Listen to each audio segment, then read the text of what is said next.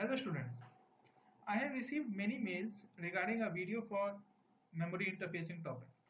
So this video covers understanding the concept of memory interfacing from the basics and followed by 4 to 5 practice questions. So let's begin. First, let us understand the concept of address lines and data lines in any memory element. For this, let me start with an analogy.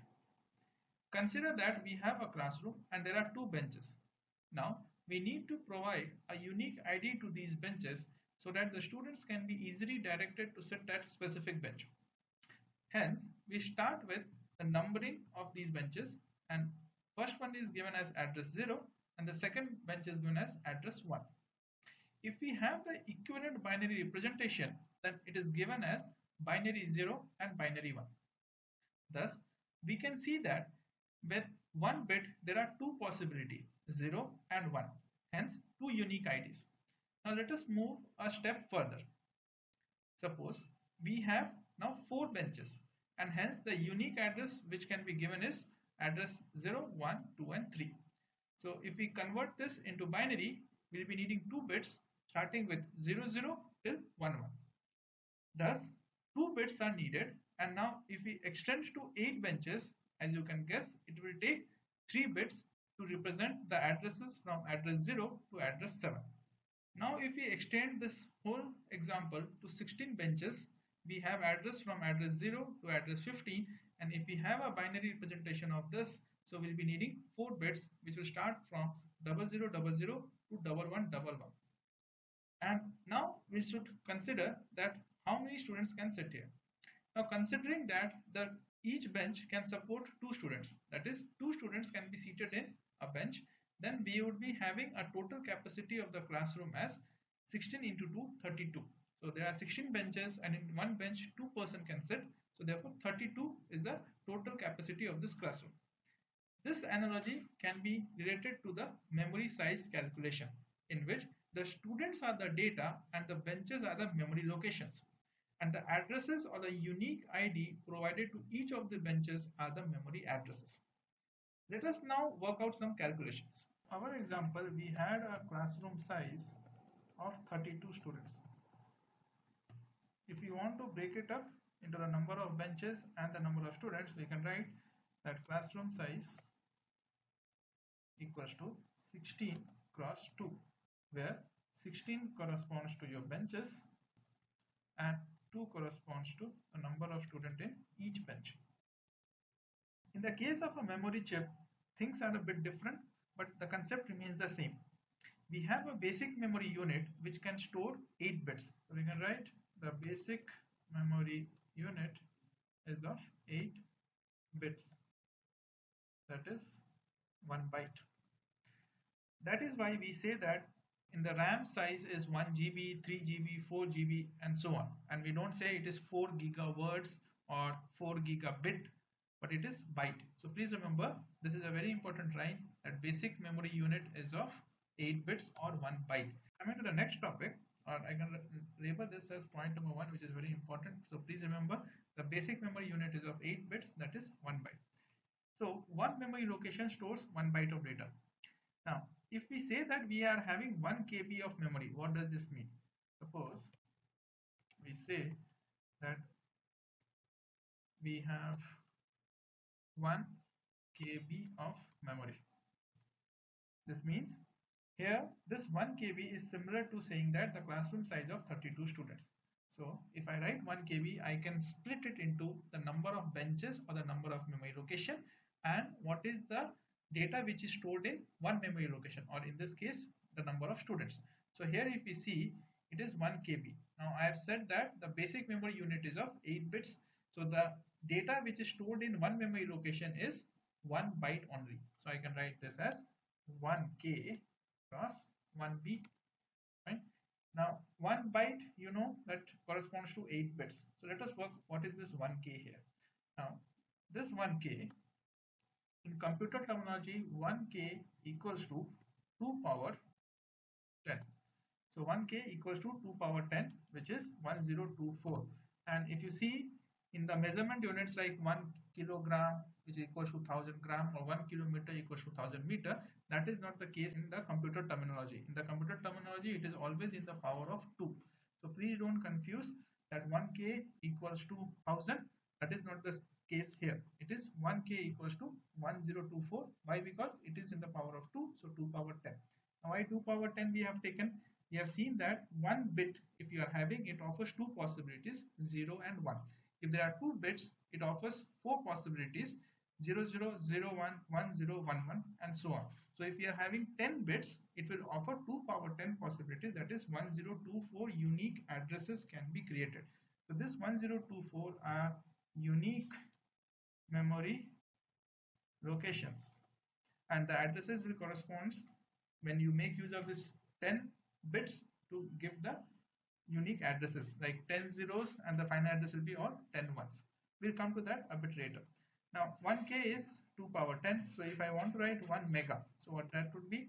That will be 2, 2 power 20 now why it is 2 power 20 i can write 1 mega as 1k cross 1k so 1k is 2 power 10 so that's why 2 power 10 into 2 power 10 the exponents will be added. So it will become 2 power 20 likewise 1 giga equals to 2 power 30 why again 2 power 30 i can write 1k into 1k into 1k so therefore 2 power 30 so as we have seen the terminology used in the computers and the terminology which we use in our normal day-to-day -day life is quite different.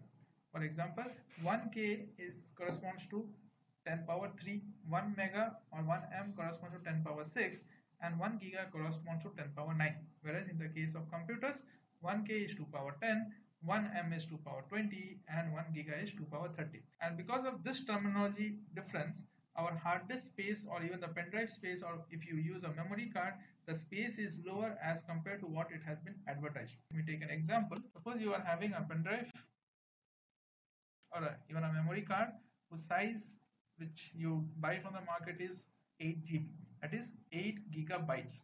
So I can write 8 gigabytes. This is the size which you get it from the market. But once you plug it inside your computer the size which is displayed when you go to the my computer and check it is not 8 gigabytes but it will be approx 7.45 GB now why is there a difference in this? And the same thing applies even to your hard disk even your phone memory and any memory element which you take. The difference between this 8 GB and 7.45 GB why you observe this is because of the terminology. The manufacturers which manufactures this memory elements they considered 1 giga equals to 10 power 9 whereas in the computer terminology it is 2 power 30 so this causes this difference. Now let me show you by means of a calculator. We are having 8 GB that is 8 gigabytes. So if I open this calculator and I punch in what is the 8 gigabytes which the manufacturers are giving. So 1 giga is 10 power 9 that means 8 followed by 10 power 9 is what the manufacturers are giving. So let me first enter that. So 8 followed by 1, 2, 3, 4, 5, 6, 7, 8, 9.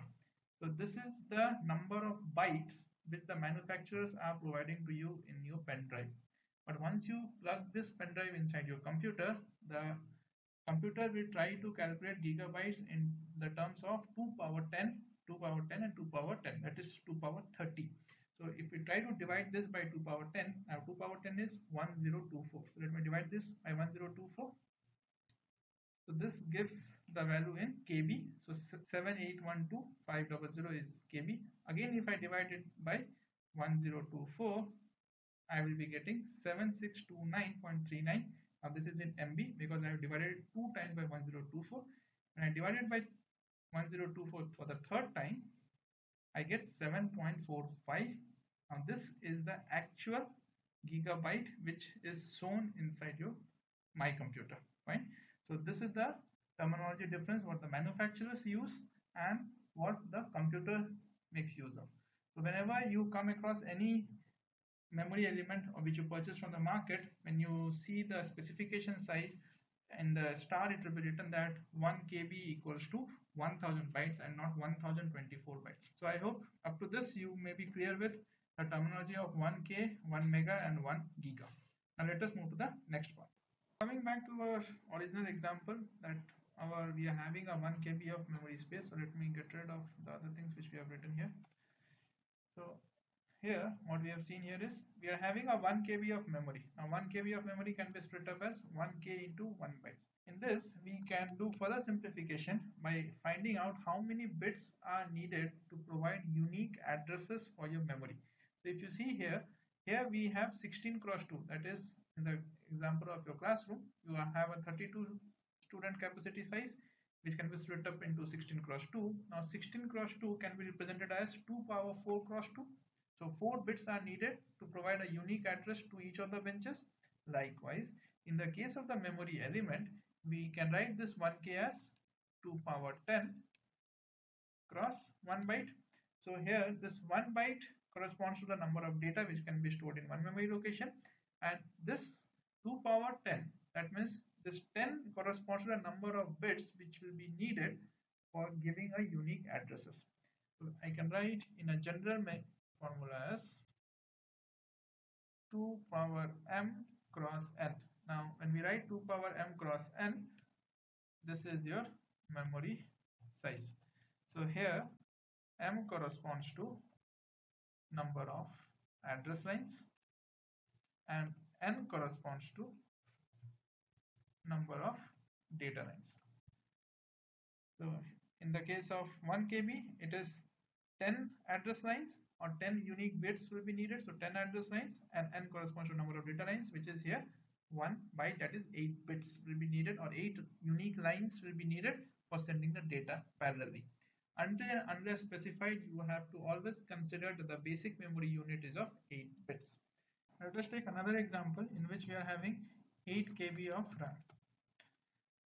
So following the process which we have done earlier, so 8 KB of RAM can be split up as 8K cross 1 bytes. Again, 8K can be represented in power of 2. So 1K is 2 power 10 and 8 can be represented as 2 power 3. So total I can write as 2 power 13 cross 1 byte. So this will give us the number of address lines as 13 the number of address lines as 13 and number of data lines as 8 so this is how you can find the number of address lines and data lines once you are aware of what is the basic memory size. With this thing in mind let us move to the next part which will help us understand how to identify the various ICs for understanding the memory interfacing with respect to 8086 microprocessor and also we'll discuss about 8085 microprocessor we'll be needing two memory elements. So they are your EPROM that is erasable programmable read-only memory and your RAM that is your random access memory. Now as you would have seen that when you are working in your digital electronics lab you would have come across some logic integrated circuits which will be having an IC numbers in the form 74XX so 7400 corresponds to NAND gate, 7432 corresponds to OR gate and so on. So here these two, the last two digits were variable whereas the first two digits were constant it is 74. Now this is called as the IC74 series for your digital integrated circuits or logic circuits. In this case the first two digits that is 74 corresponds to some company name or what make it is. And whereas the last two digits or in some cases there will be last three digits. So I can write here 74XXX so the last three digits corresponds to a specific gate likewise we are also having IC numbers for your EPROM and RAM. So let me just write it here. For EPROM we are having the IC number which starts with the series 27XX or you can also have ICs with 27XXX so these are the IC numbers for your EPROM. And for your RAM, the IC series starts with 61XX or 61XXX. There are also ICs with 62XXX or 62XX. What does this double X or triple X means with respect to your address lines and data lines we'll try to understand. So let us take an example. Suppose you are having an IC 2716. Now what does this mean?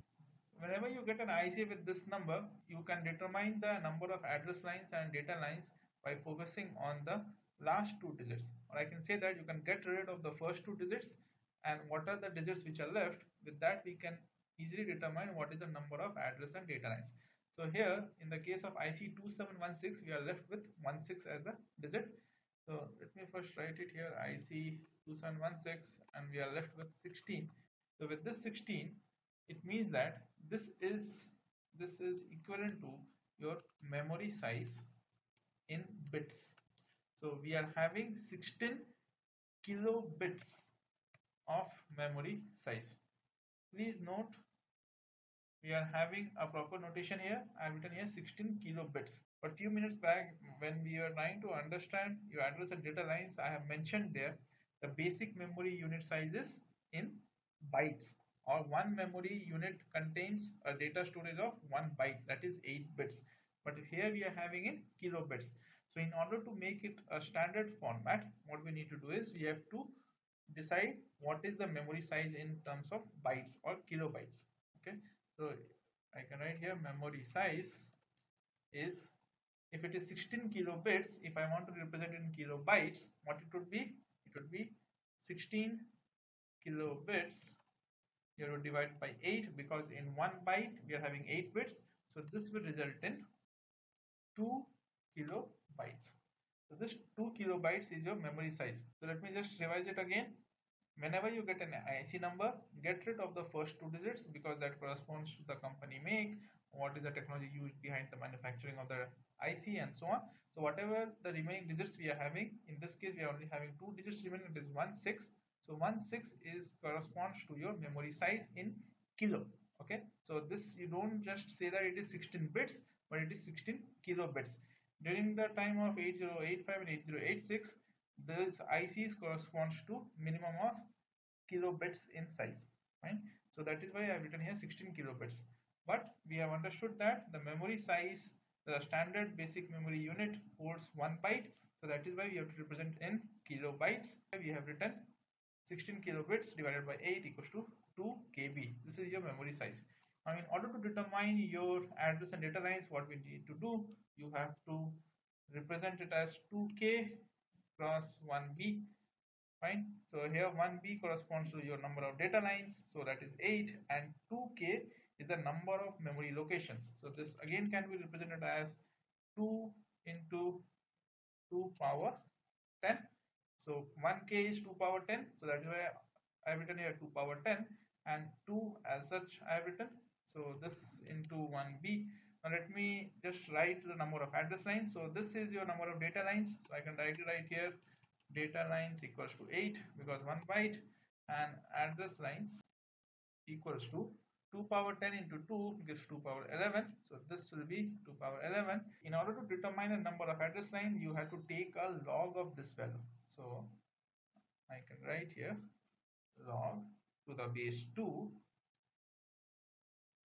of this value so if I take log of base 2 to power 11, we get 11 bits. Or your address line size is 11 bits. Data lines are 8. Fine. I hope this part is clear.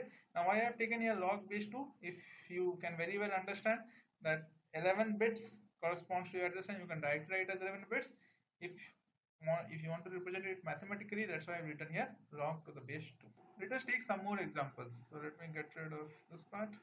Suppose we are having a RAM whose IC number is 6264 okay so IC 6264 so if you are given this IC 6264 first thing it is a RAM because its series is 62 and now in order to determine the address and data lines so we have to get rid of the first two digits.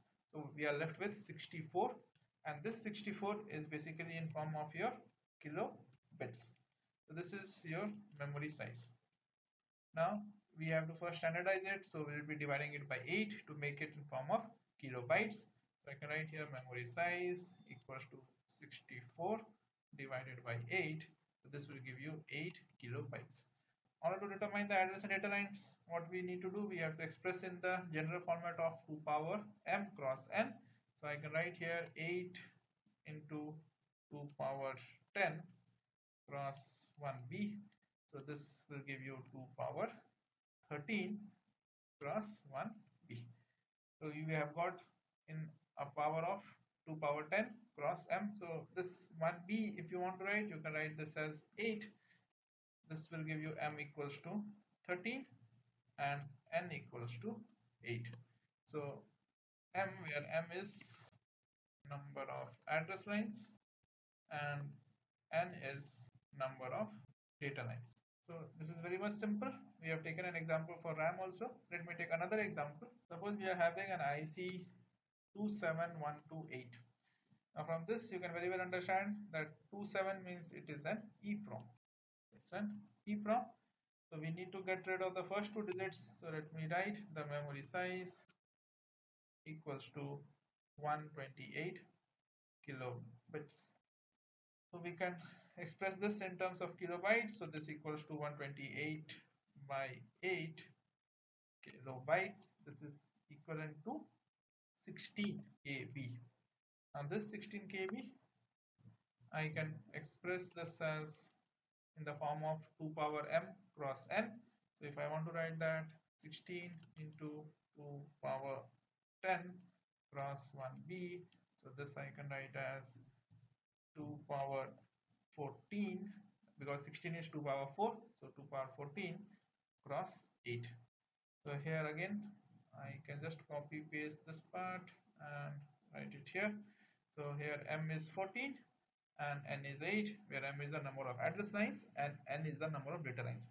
So I believe that with these examples you can very well find the number of address lines and data lines for that IC now we'll be moving to the next step where we'll try to understand how we can draw the blocks of your RAM and EPROM and what are the various signals corresponding to the same. We have taken the example of IC6264 which is your RAM and we have figured it out that this IC6264 has 13 address lines and 8 data lines. Now how can we represent this in a block diagram? So here we are having a block of RAM. Now the 13 address lines is represented from A0 to A12. So the A0 also counts. So that is why it is still A12. So from A0 to A12 are the 13 address line which can be represented like this which is shown here. Then the data lines are 8 so it is represented as D0 to D7. After that you have to understand there are three enable lines. Now what are these? Let us try to understand in detail. The first one is called as output enable or OE. They are all active low that is why there is a bar on the top. And then there is another thing which is called as write enable. So this is used for writing the data inside the RAM whereas OE is the output enable which is used for taking the data outside the RAM. So that is why if you see here OE is connected to the read bar signal which is coming from the microprocessor whereas WE that is your write enable is connected to the write signal of your microprocessor. Thereafter we are having a chip select in certain textbook you will find chip enable CE so both the things mean same so chip select that is an active low this is used for activating this chip or making this chip as enabled. This can be connected to either to the decoder or it can be connected to an output of any logic gate or it can be directly connected to the microprocessor. Now we'll make use of this chip select line in our memory interfacing decoding circuit. Right? So that we'll understand there when we are making the diagram for the memory interface For time being, let us get clear with these two signals that is your OE and write enable. Since your random access memory has both the capabilities of read and write, that's why it has both the signals OE bar and WE bar. If you look into the case of EPROM, which is shown in this figure, you're only having OE bar. Now OE bar, as the name says, it is output enable. So output enable means it is sending a data outside from the EPROM. Now when it is sending the data outside, that means there is some entity which is trying to read the data. So that is why the data is going out. As compared to the RAM it does not have a write enable because it's only a read only memory. So IC2764 is an EPROM so 64 if we try to decode it you will find that it is also having a 13 address line. 13 address line is represented as A0 to A12 and your data lines are D0 to D7 it will have the chip select line which is given here which is an active low and again the output enable line which will be connected to your read bar of your microprocessor now with this, we are done understanding your various ICs.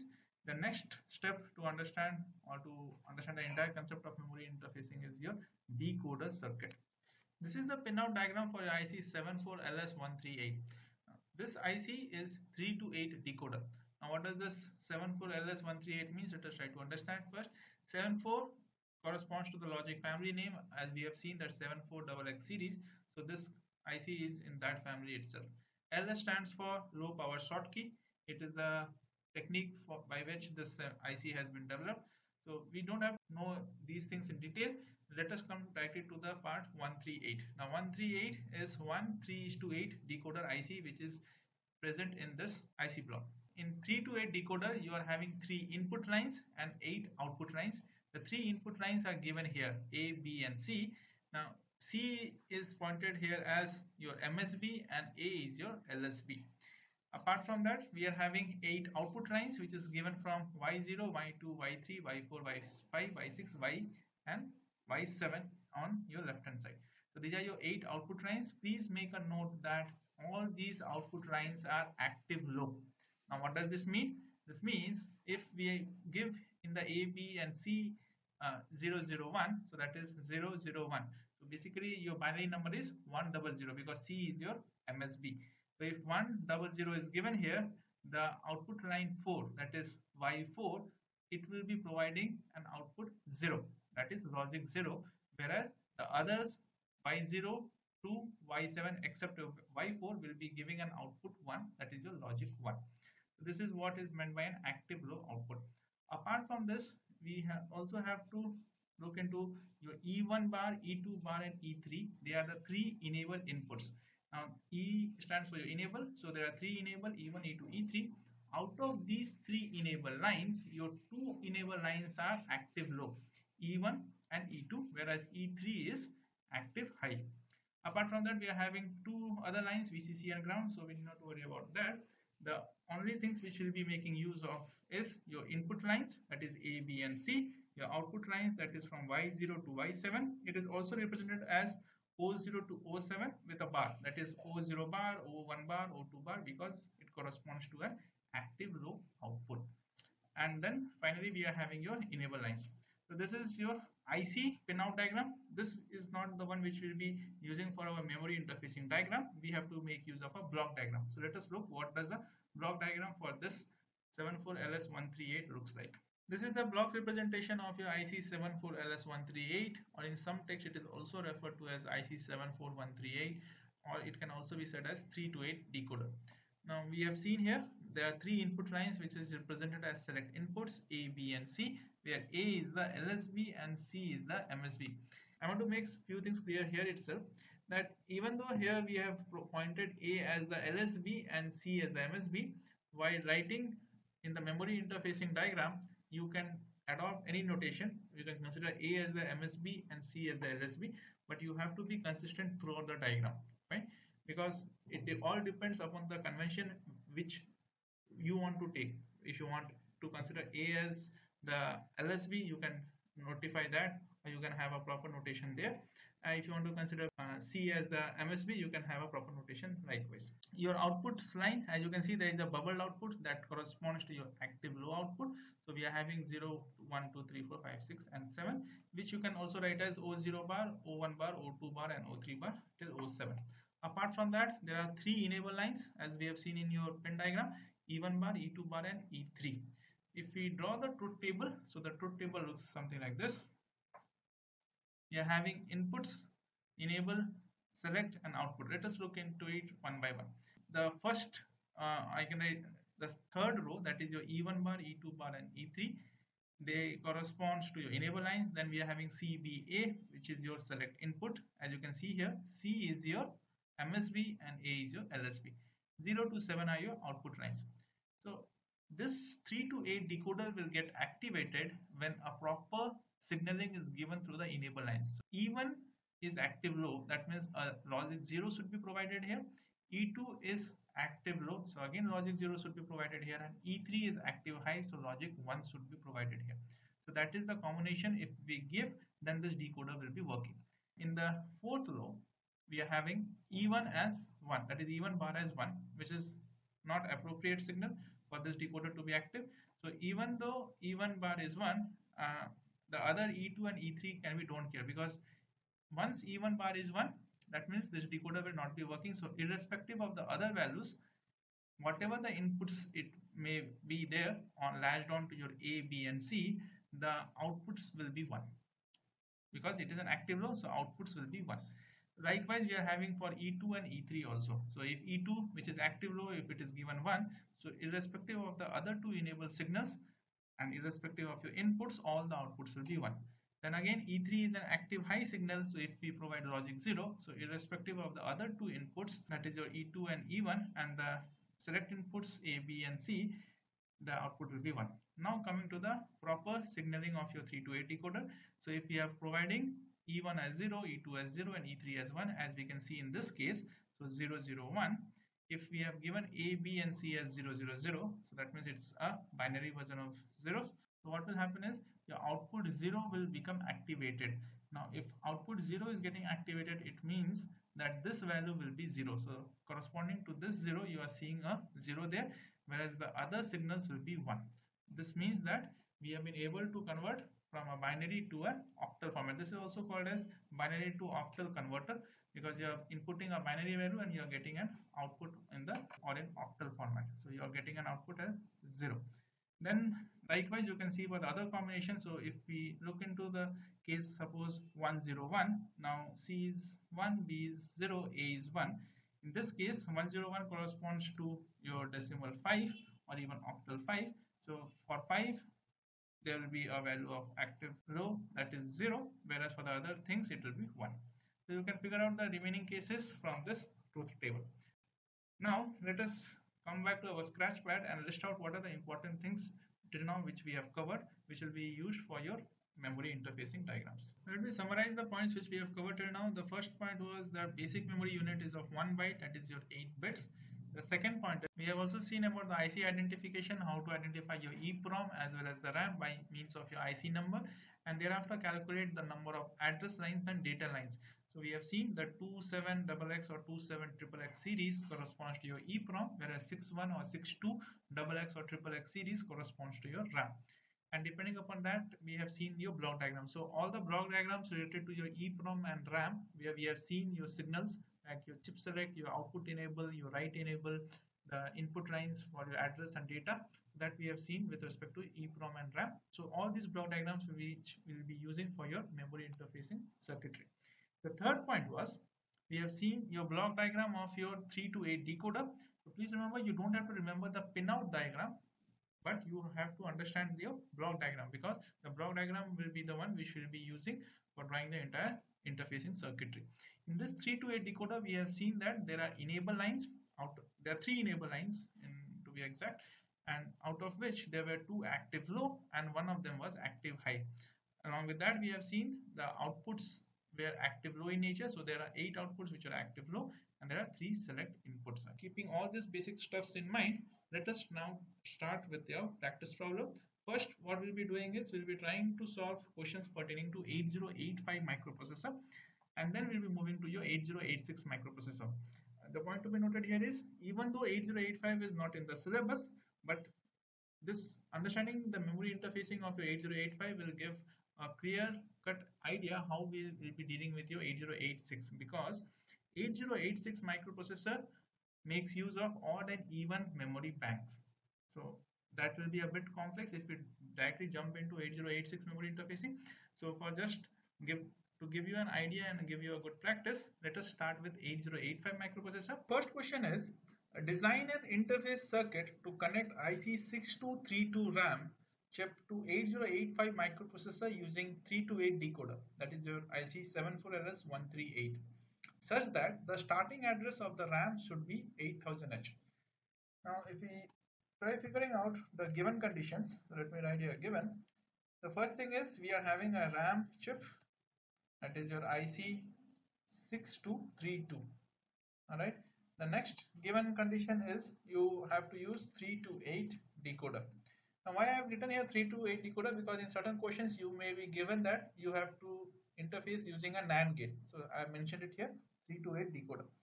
Also it is given that the starting address of the RAM is 8000H so let me write that also and the microprocessor under consideration is your 8085 microprocessor. So this is very important. So we have to make use of 8085 microprocessor. If you recollect, your 8085 microprocessor has 16 address lines and 8 data lines. Right? These are the given conditions. Now with respect to this, first let us perform some calculations related to calculating your address and data lines of your RAM chip and what will be the starting address that is 8000 so how it needs to interface and thereafter we'll be drawing your memory interface diagram. So first step is your given. So let me just write here one. So this is you have to first list out all your given condition. In the second step we have to find out what is the number of address lines and data lines in the given RAM chip. So let us try to recollect what we have done previously.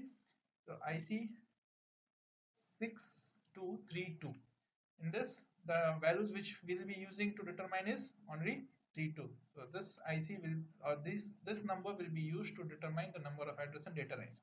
So I can write your memory size is 32 kilo bits fine if I want to express this in terms of bytes so I have to divide it by 8 so 32 by 8 will give you 4 kilobytes.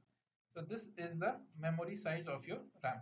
Now let me create some space here. With this what we can determine is if I want to express this in terms of the general formula of your address and data line that is 2 power m cross n I can express this as 2 power 2 that is your 4 cross 2 power 10 that is your k. So 1 k is 2 power 10 cross 1 bytes. So this 1 byte I can write it as 8 now this can be expressed as 2 power 12 cross 8 so we can write number of address lines equals to 12 and number of data lines equals to 8 if you note, notice here that we have 8085 microprocessor. Now in this 8085 microprocessor we have 16 address lines and 8 data lines. In the RAM chip what we have been given we are having 8 data lines.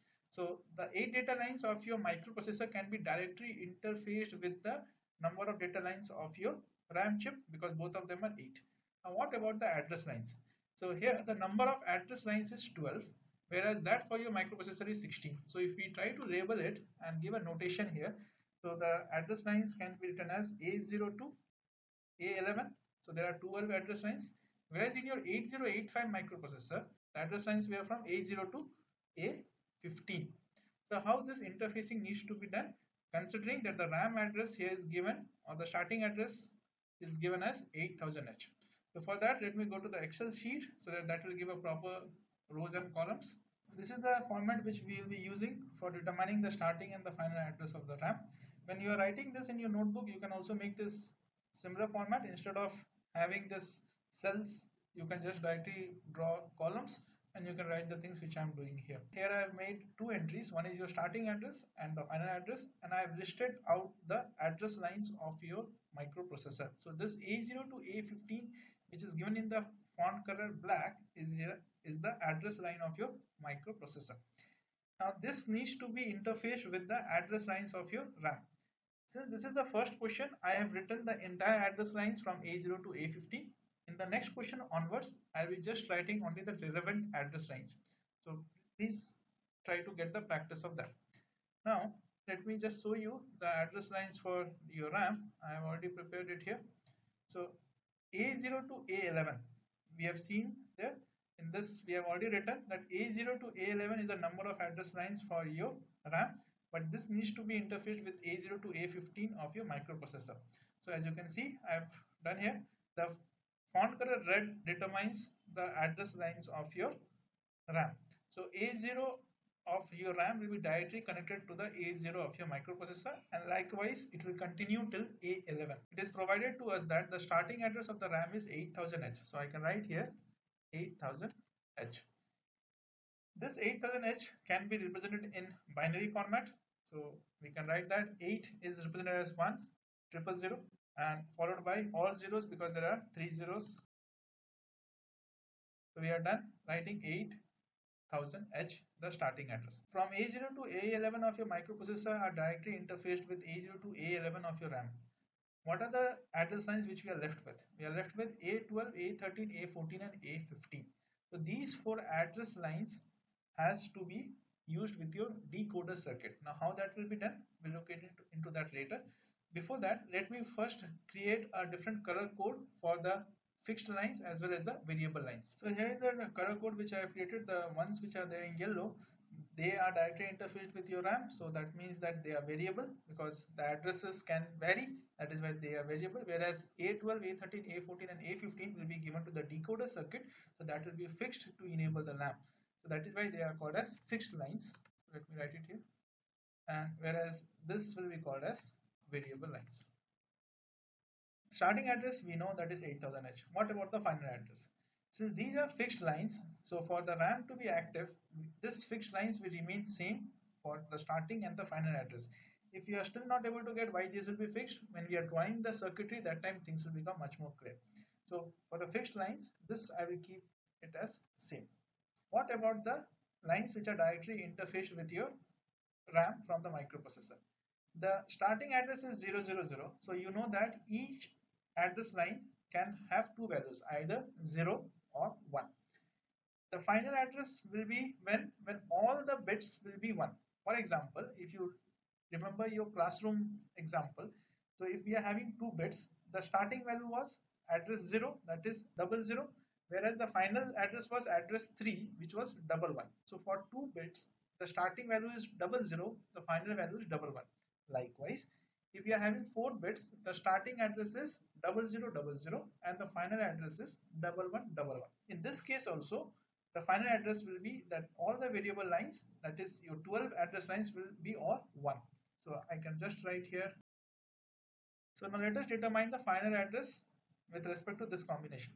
So the first 4 bits will give you a value of 8. So this is 8 and this 4 will give you a value of f. This is simple BCD to hex conversion. So this 4 ones will give you a value of f because we have to represent this in hexadecimal. So 4 ones corresponds to f. Again, this 4 ones will give you f and this 4 ones will give you f. I can just write it here f and f. So we get the final address as 8 triple f h. So let me just put alignment here. So these are the two sets of values which we have got 8000h and 8 triple F H and these are the fixed lines which are having a value of A15, A14, A13, A12 which is 1 triple 0. So now let us come back to our WordPad and try to figure it out how we should proceed next. Now coming to the third step which we have already performed there to determine the starting and the final address. So we can write the starting address as 8000H which is given and the final address is 8 triple FH. So I'm just writing here stepwise so that you can very well remember what are the sequence we have to go through. We need not to write 1, 2, 3 and so on but this is just for your understanding. So starting address 8000H, final address 8 triple FH. Now the fixed lines which we have got is A15 whose value is 1 then A14 whose value is 0 A13 again whose value is 0 and a12 whose value is 0 so these fixed lines we have to use for interfacing with our decoder circuit. And that is your point number 4 so how we should decide which lines should go to the decoder circuit. Let me give this as a name before this let me come back to the third step we have got the starting address and final address how can we be sure that the starting address and the final address what we have got is right? For this, you can make use of a calculator. So I open up my calculator and as you can see here I am going to the programmer mode which will give us the four modes hex, decimal, octal and binary. I go to my hex mode and I key in the values 8 triple FH. So 8 triple FH which is your final address and this has to be subtracted with the starting address so that you can get the actual amount of address which your RAM is using or which your microprocessor will be interfaced to. So 8 triple FH minus your 8000H will gives you triple FH. Now this triple FH, if you see in decimal, this is 4095. Let me write this value here. So let me minimize this. This is just used for checking. So checking your memory addresses. So I can write the net address which we or the net memory location to be exact. Net memory locations which we have received is what? Triple F H. Which in decimal if we see what it is giving as 4095 and this is in decimal please understand this 4095 basically it starts from 0 so we are having the memory locations from 0 to 4095 now how is that? So try to recollect our classroom example. So where we had two bits. In that two bits the address starting was address 0 next address was address 1 address 2 and address 3 so even though the last address was address 3 the total number of addresses or the total number of benches we have 4 why? Because we are started from 0 so likewise here also we are starting from 0 so 0 to 4095 will give us the total number of memory location as in decimal as 4096 memory locations. Fine. So 4096 memory locations we have got. If we want to find this memory location in terms of your kb how much it will be? So we know that 1k equals to 2 power 10 this is equals to 1024 so if I want to write this number of memory locations I can write memory location in terms of KB I have to divide by 1024 so 4096 divided by 1024 it gives us 4 KB. And if you try to see here IC6232 gives us a memory locations of 4 KB that is 4 KB is the RAM size there which we have already achieved here. So this is just a way of checking from starting address and final address whether you are getting your desired memory locations or not. If there is a mismatch here that means you can be sure that your final address which you have determined is not right. Okay, so this is just an optional for you whether if you want to be sure that what answers you are getting is right then you can go with this method else you can if you are confident that whatever final address you have got then you can directly move to the step number four deciding the input lines for the decoder circuit. We have seen the block diagram of the decoder circuit that is your 3 to 8 decoder. In that we were having six input lines. Now what were there so let me list it out.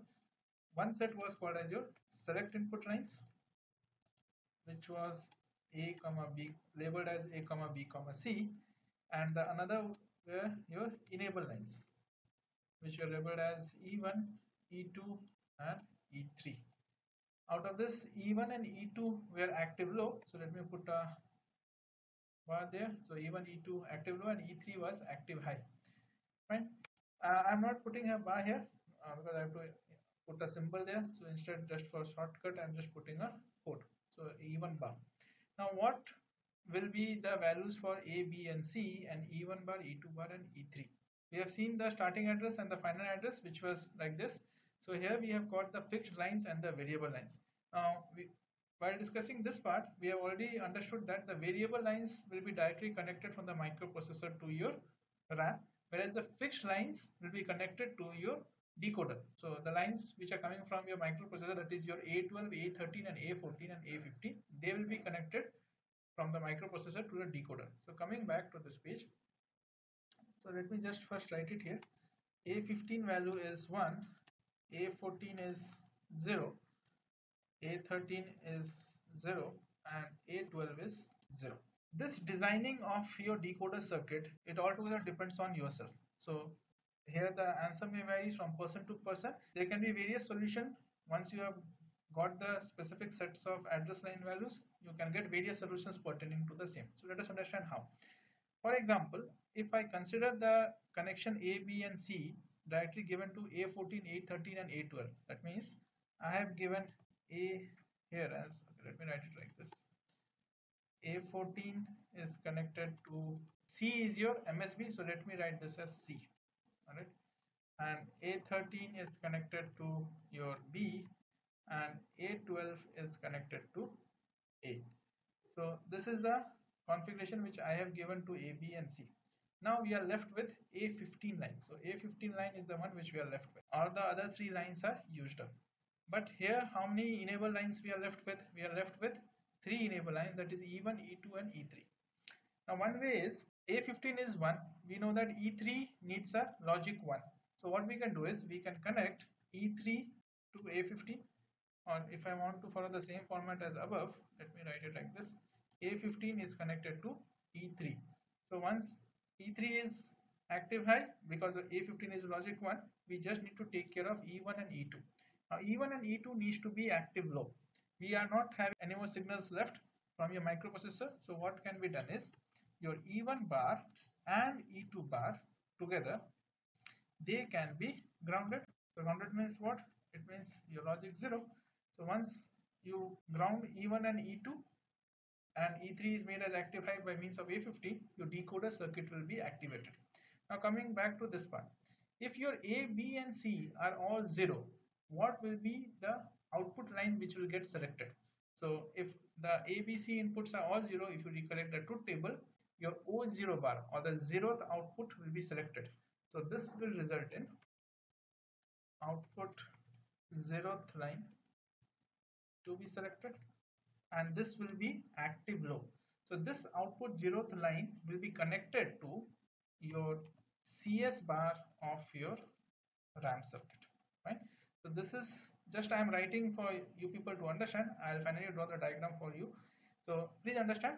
Here I have taken A, B and C connected to 0, 0, 0 and that is why the zeroth output line will be selected and this output line will be connected to the chip select because the chip select is the one which will activate your RAM.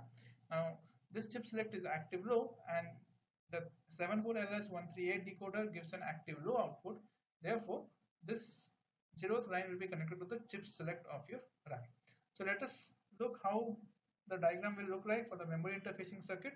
Once you are done with that, then we'll come and explore what are the other options we can get from this. This is the fifth step of your memory interfacing question and here we have to draw the entire memory interfacing circuit. So we'll start with the RAM which is 4 cross 8 RAM which we have already seen IC6232. Here we have listed out the address line as A0 to A11 so 12 address lines and I'm giving here uh, the font color as red. So please remember the font color red corresponds to the address lines of your RAM and here the data lines D0 to D7 is also in red font color so that also corresponds to the data lines of your RAM. To this we are having the address lines of the microprocessor A0 to A11 which is in font color black representing your address lines coming from the microprocessor. So that is directly connected to the A0 and so on. So A0 is connected to A0 A1 to A1 and so on till A11 of your microprocessor is connected to the A11 of your RAM. Likewise your D0 to D7 data lines of your 8085 microprocessor is connected to your RAM D0 to D7 now we are having our 3 cross 8 74 LS138 decoder in which we have figured out that we are having three input lines A, B and C and E1, E2, E3 so E1, E2 are active low. Now as we have worked it out so A is connected to A12, B is connected to A13 and C is connected to A14. So that is why A14 is the higher part of the address and C is the MSB that is why I have kept the order like, like that. Now, when your A12, A13 and A14, we have seen that the values of all these were zeros. So if all these three will be zero, the line which will get activated is the zeroth line. That is your O0 bar, right? Or you can even write Y0. So O0 or Y0 both mean same because it corresponds to your output. And this is an active low because as you can see here, it's a bubble output. So bubble output means when A, B, C are all zero, the output uh, zeroth line will be logic 0 this logic 0 is connected to the chip select line of your RAM. The other enable line that is your output enable and the write enable we have already discussed. It connects to your read bar and the write bar of your microprocessor. Now what about E1 bar E2 bar and E3 we have discussed that E3 which is active high or it needs a logic 1 A15 was already 1 because they are the fixed lines and the starting address was provided to be 8000H. So A15 is 1. So that is why E3 can be directly connected to A15. What about E2 and E1 bar? We have discussed both of them can be connected together and be grounded. So this is one way of designing your circuitry. As discussed before, there are multi way, multiple ways by which this circuit can be designed. So let us look what are the other configurations which we can make this circuit. I will not draw the entire diagram again. I just list out the various signal combinations. So you can again proceed towards drawing a diagram for specific cases. Now let us explore some other cases which is very much applicable for our memory interfacing circuit given the conditions here. So let me write this as case 2. We have already seen that in one of the cases here we have taken A15 which is 1 to be directly connected to your E3 line. What other possibilities do we have? Suppose we connect a15 connected to your c a14 is connected to your b and a13 line of your microprocessor is connected to your a of your decoder. So this will give the combination as your cba equals to 1 0 0 because a15 is 1 a14 is 0 and a13 is 0 so when your cba is having an input of 1 double zero this will result in selection of I you can label this as y4 bar or o4 bar. Both the things mean same because you have to just denote which output line of your decoder will be selected. So selected means the fourth line of your decoder will give a logic 0 as output because it's an active low output decoder. And this fourth line will be connected to the chip select of your RAM in the previous case we have seen the zeroth line was connected to the chip select whereas in this case it will be the fourth line of the decoder which will be connected to the chip select of the RAM. Now here what we observe what is the thing which we are left with. So we are left with A12 line. So let me come down a bit. A12 line is left. A12 equals to 0 as we have got from the fixed line derivation. So A12 line is 0 and we know that the E1 bar and E2 bar they are also 0 or they want a logic 0 to be activated. So this A12 can be provided simultaneously to your E1 and E2 so what I can write A1 is connected to your E1 bar and E2 bar. Like how we have connected in the previous case that E1 bar and E2 bar was simultaneously or it was connected together to ground, ground or logic 0 likewise in this case A12 will be simultaneously connected to both E1 bar and E2 bar. Now what about E3? E3 is an active high pin. So active high pin means it should be connected to logic 1 for the decoder to be activated. So this will be connected to your VCC that is 5 volts that is your logic 1. So this is another case and both the solutions are fine and it depends which one you want to choose. Now let us look into some other cases though they are not that much optimized because it make use of some additional logic gates but still if there is a possibility you can even make use of such combinations also. Here what we can do is let us keep the same thing same. A15 is connected to c a14 to b a13 to a. So this is one way. So here again the fourth line of the decoder will be selected. So no change in this case. Now what about here? Here what we can do is instead of connecting a12 to e1 bar and e2 bar what i will do is i'll take a12 pass it through a NOT gate. When I pass A12 through a NOT gate, the logic 0 which is of A12 which will be connected to logic 1 and this I can connect to E3 because E3 is an active high pin which needs a logic 1 so I can connect this to E3. What about E1 and E2?